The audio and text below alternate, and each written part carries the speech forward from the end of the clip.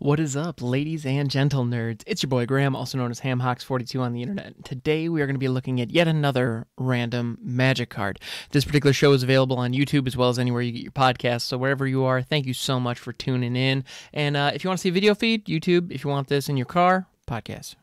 Awesome. Because get off your phone when you're driving. Just saying. You know this. I know this. We all know this. But let's uh, let's just say it out loud. Because uh, I don't know about you, but I don't know. The temptation is real. Okay, so what are, what card are we looking at today? This is randomly selected, but we got a juicy one today, guys. We are looking at Mox Emerald. This card is if you if you haven't heard of the Moxen, um, and that's the other thing, eh, Moxen. Yes, I did not say Moxes. If you haven't heard of the Moxen, then uh, you must be new to the game, which is totally fine. Welcome, welcome. Thank you for thank you for checking out. Um, the Moxen are artifacts that were in the original set, and what they do is they cost zero to put into play. Nothing. And when I say they're artifacts, I'm talking about old school artifacts, so they don't have any colors.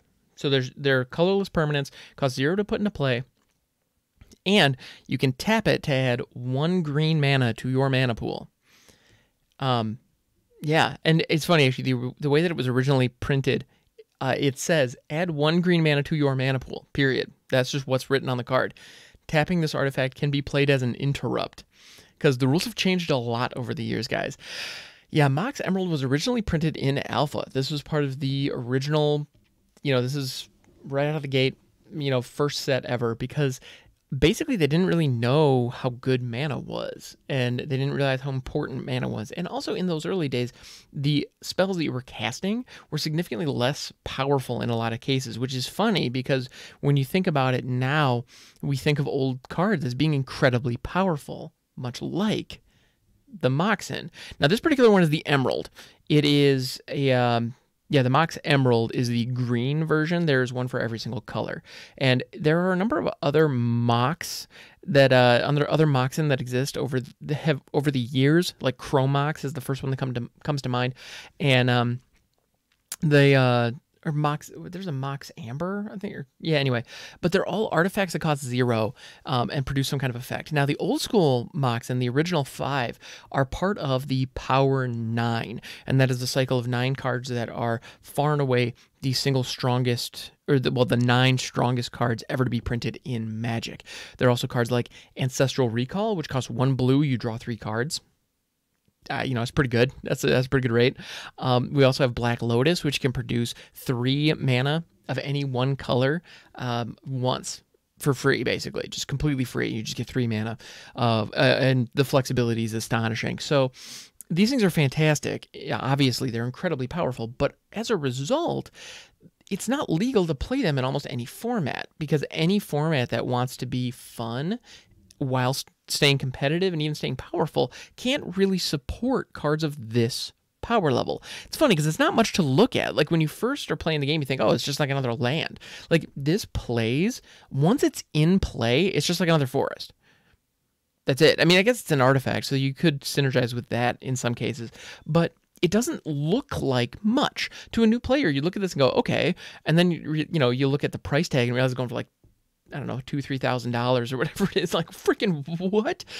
Well, and the thing about the Moxen that are so ridiculous, and the reason that they're so incredibly powerful is if you are running these, if you were allowed to run four of each different Mox in your deck, you could have you I mean you could very easily have 20 Moxen and no lands you wouldn't need lands. And I'm sure you're thinking, well, what, what's the benefit of that? Well, you can only play one land in any given turn.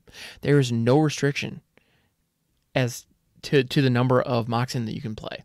So if you had if you had nothing but if you didn't have lands and you only had Moxen, you could just play all of them on your very first turn and however many you so if you start with a hand of three you just have three mana available on board right away out of the gate before your opponent has had a chance to do anything that's insane you know you can't come back from that like that would be just crippling and so that's that's why this card is banned in almost every format, including uh, Legacy and Commander. You just can't. You're not allowed to have them. Period. Just nope, get them out of here.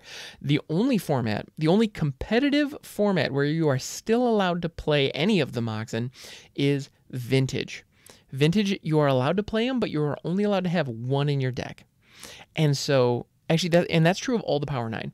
Vintage is a format where cards are almost never banned. In fact, up until about a month ago, two months ago now, I would have said cards are never banned in vintage because cards are almost never banned in vintage. No matter how strong no matter how oppressive no matter how impossible they are to deal with vintage is like the last format of official competitive magic that allows everything but within reason. And so those cards that are incredibly powerful like the moxen like black lotus etc you're only allowed to have one in your deck. And so that's the way that they get around it. So like yes if you happen to draw it okay. And so when you're looking at the Power 9 free mana abilities, you've got the 5 Mox, you've got the Black Lotus. Okay, so that's six cards out of your deck. So if you start with two of those in your opening hand plus, you know, plus a land, you're going to be in just fine shape. And it really doesn't matter which two. You're going to be in phenomenal shape. Um, and your opponent will have to leverage something, you know, things like Force of Will that are free counterspells in order to combat what you're doing. Um, so, like, that's one of those situations where it does come down to luck to some degree, but the other side of it is that's that format. That is what you get when you play in vintage. Those opportunities are available to you in vintage in a way that they aren't in other formats. There's nothing wrong with that. There's a you know there's got to be a place for every card. Um, that's something that Wizards clearly focuses on and clearly tries to establish is we want a healthy game. We want a game where people can get the play experience that they want, but also we want all of these cards to retain value. We want all of these cards to provide enjoyment and fun to someone. And whether that's just from the collector angle, which there's nothing wrong with that. I mean, compare magic cards for a second to sports cards. You know, if you have a Babe Ruth rookie card, that thing is worth thousands, if not millions of dollars at this point. Well, what does it do? It does nothing. It's a little strip of cardboard that has a picture of a really good baseball player on it or a historically significant baseball player on it. That's all it is. But that little strip of cardboard was printed decades ago if not centuries ago at this point. I'm not I'm not a history person. I apologize. Any any sports history buffs out there, I'm sorry if I'm if I'm getting that wrong. But but that card is a relic of the past and it's trackable. You can see how old it was and you can see where it's come from. You can see the this little scrap of history that turned out to be something really special for baseball and so, if you happen to have a little strip of cardboard from that time period that is inarguably a piece of that history, that's something special. And all it is is a little strip of cardboard. That's it. You can just look at it and go, man, that's cool. I have that. Well, that's why Mox Emerald here is worth a couple thousand dollars. Are you going to be playing it? No, you're not allowed to because if you have access to this and your opponent doesn't, you have an unfair advantage and they are not going to enjoy the game. Like, and to an extreme degree. And so ultimately, yeah, you can't play with this unless you're playing against other people who have it and you're, you know, lining up at a vintage table. So it's a special piece of history. You know, the idea of spending the idea of spending two grand on a Mox Emerald and it's funny too because when you look at it, it has the old brown frame, which they moved away from because it's not aesthetically pleasing. Um, the text on it is almost illegible in certain points. The the text in the text box itself is really crowded. It's tough to to read, and it's funny the artwork. Um, the, the artwork on this was commissioned by a gentleman named Dan Frazier, who, if uh, I, I recently read an article actually about it was an interview with him about the artwork on the Moxen, and uh, he did all of them. He did all five Moxen, and uh, he actually gave uh, some interviewers a hard time because somebody actually commented and let him know that uh, I, you know, something to the effect of, "I think your I think the Mox are. I, I think your Mox artwork is beautiful." And the person said, "No, you don't." You know, Dan Frazier was like, "No, no, no, you don't. They're not that great. They're fine." But at the time, Wizards paid him like fifty bucks or whatever to slap together five pictures, and the direction he got was, "It's a Mox." What's a mox? I don't know. It's a thing. And so he just decided, like, all right, they're gonna be pendants. And so he's he, you know, painted some pendants. Or, you know, drew up some pendants. And there's nothing wrong with this artwork. It's they're they're lovely little pictures.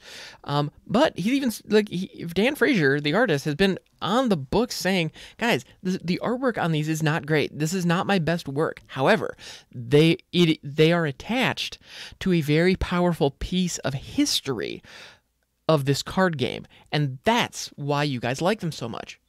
You know, I personally don't think there's anything wrong with that. And I think he did a fine job. Understanding he's a working artist and a card game con- you know, contract contracted him to put together some artwork for for their cards. Cool. Like he did and he did a fine job. He delivered. They look they look good. Are they gorgeous pieces of art? You know, it, independent of the of Mox Emerald, would I want that picture hanging in my hallway. Eh, like not really, if I'm honest. And I don't think Dan Frazier's offended by that, you know. Um, but do I want a do I want a framed Mox Emerald hanging in my hallway? Oh, you better believe I do. 100% all day, every day, because that is a strip of cardboard that is a beautiful collector's relic from the start of what has become the trading card game that has started an entire genre. And it happens to be my favorite game of all time. And it's a part of it's a part of the history that I want to surround myself with. So the idea that people are spending thousands of dollars to get mint copies of Mox Emerald or near mint copies of Mox Emerald or even slightly damaged copies of Mox Emerald, I get it. I absolutely get it. Do I want one? You better believe I do. Uh, can I justify that kind of expense? Oh, absolutely not. As so very few people can. But at the same time, it makes sense. You know, there's that is the coolest thing about Magic is you have a fun, engaging game, first and foremost, but you also have a beautiful, rich collector's environment as well. And Mox Emerald is a lovely piece of that. As as a game piece, it doesn't work very well at all. It's funny actually if you look right now, if you're looking at Mox Emerald, it is broken. And we use the phrase broken to mean too powerful to be playable. If you look back at Oko, people are looking at Oko, which by the way does have a phenomenal piece of art on it, and it was an incredibly valuable card. Oko is almost universally hated as a failure. It is an incredibly powerful card that has a ton of waves within the game. It had huge ripples on the game the moment it dropped because it had this type of power. It had the level of power that a card just shouldn't have. And now the difference between Oko, Thief of Crowns, and the Mox Emerald, Mox Emerald has two decades of history and this beautiful nostalgia tied to it. Oko doesn't have any of that. Oko showed up. He wasn't even an older character. Like that's the thing. Like when you look at Urza in modern, a lot of people complain that Urza, um, Lord High Artificer, is an incredibly powerful broken card. But at the same time, Urza is a character that fans of the game have been following for decades. And Urza is a person Urza the Planeswalker is a character that we know and love if you've been following the game. And so there's this kind of like push and pull. Now, you put any other name on that character, and I think a lot more people are going to hate it. And with Oko, he was a brand new character. He was a brand new planeswalker. His power level was pushed to the point where the game stopped being fun. And it just reached. Oko Thief of Crowns is what happens when a card like Mox Emerald doesn't get grandfathered into the game. And Mox Emerald is a card that is highly valuable, highly loved, and appreciated because it's broken. But it's more than that. It's the history. And there's something incredibly beautiful about that. And all the Power Nine are like that. And actually, another example that I, another one I want to throw out there is Sol Ring. Sol Ring was actually a card that was originally printed back at the same time. And if you look at really old school Soul, Ring, Sol Rings, it looks like a uh, circular sun. Now, Sol Ring is a card that's been reprinted in a ton of different Commander products. Heck, I have one. Um, you know, I I have one just just off camera. It's you know we they're they're everywhere um, because in they've decided like Wizards has decided that it's a card that should be legal in Commander um, because Commander is a very casual format. Now, Sol Ring itself fits in almost any any deck. It gives you two mana for one mana, and it, it's all generic. It's all colorless it's just a it's an unquestionably good card. Um, if I'm not mistaken, it's banned in just about every uh, tournament format, like any competitive format, because it's unfair. It is universally unfair. But Wizards keeps reprinting it for Commander because it's just it's a casual format, and the idea is it's it's a format where things can be busted and can still be fun. And so Sol Ring is an example of that and and you see Sol Ring going for two or three dollars right now in its cheapest printings, if any of the reprint versions. However, if you look at some of the rarer printings of it, they are still going for an incredibly high number. If you have like a beta Sol Ring, that thing is worth hundreds of dollars. Because not only is it a playable card that is very powerful and people like in this one format, but the moment you have the collector value on top of it, it goes through the roof. Another one's a phenomenal example of that is Birds of Paradise. Birds of Paradise has re- been reprinted dozens of times. You can get a Birds of Paradise right now for I don't know two, three bucks. Like it's not hard to get your hands on a functional Birds of Paradise if you want it to play the game. But if you want an alpha Birds of Paradise, you better be ready to pony up about three grand because the collector value on that is just so high because it is such a rare beautiful piece of the past. It's just so cool. And there's so many cards from Alpha that are like that. So many cards. Now, and the reason that I'm talking about these ones specifically is because they're they're playable, they're still good, they're still powerful by today's standards. But there are a lot of really older cards that frankly are terrible nowadays, or just not good. Like Shivan Dragon is one of the first ones that come to comes to mind. It is not good by today's standards. It got reprinted in M20. It has been standard legal this whole time. It is in Arena right now. You know how many people are playing it? Nobody. I love playing weird janky brews, including weird janky brews that depend on big chunky red creatures, and I don't have Shivan Dragon in that list. Because it just isn't quite good enough by today's standards. In limited, it's just fine, but in constructed, yeah, not so much. Well, in alpha, Shivan Dragon was a bomb. That thing was a game ending powerhouse. And so as a result, you can get a copy of Shivan Dragon right now for probably 10 cents if you don't care what printing it is. But if you want an alpha Shivan Dragon, be ready to pony up a couple hundred bucks because it has the collector value. It has that nostalgia value. Um, it's fascinating. Those two, the, the the places where magic value comes from, is something that I find absolutely fascinating. And yeah, and this is this is where uh, where we ended up. Special thanks to Mox Emerald, which is a, a lovely little card from the past that really gets my juices flowing. And uh, it's also on the reserve list. We will never see these reprinted ever, and we never should, frankly, because um, they're just like they're they're they're just way too powerful. They do not fit in the game as we know it today.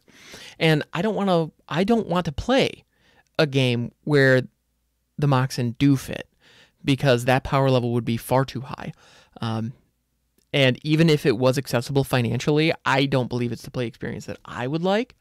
But I understand some people out there do enjoy it and do love it. And for those folks, the vintage format exists. And for that, I'm I'm grateful. I'm grateful that that exists. I am grateful that Wizards understands that this game is a lot of things to a lot of people, and they're willing to make sure that there's a home for every card and there's a home for every player. I think that that deserves a uh, tip of the hat you know, so anyway, thank you so much for hanging out, guys. Has been an absolute delight. You can find me over on Twitch, twitch.tv slash hamhocks42. I will catch you next time.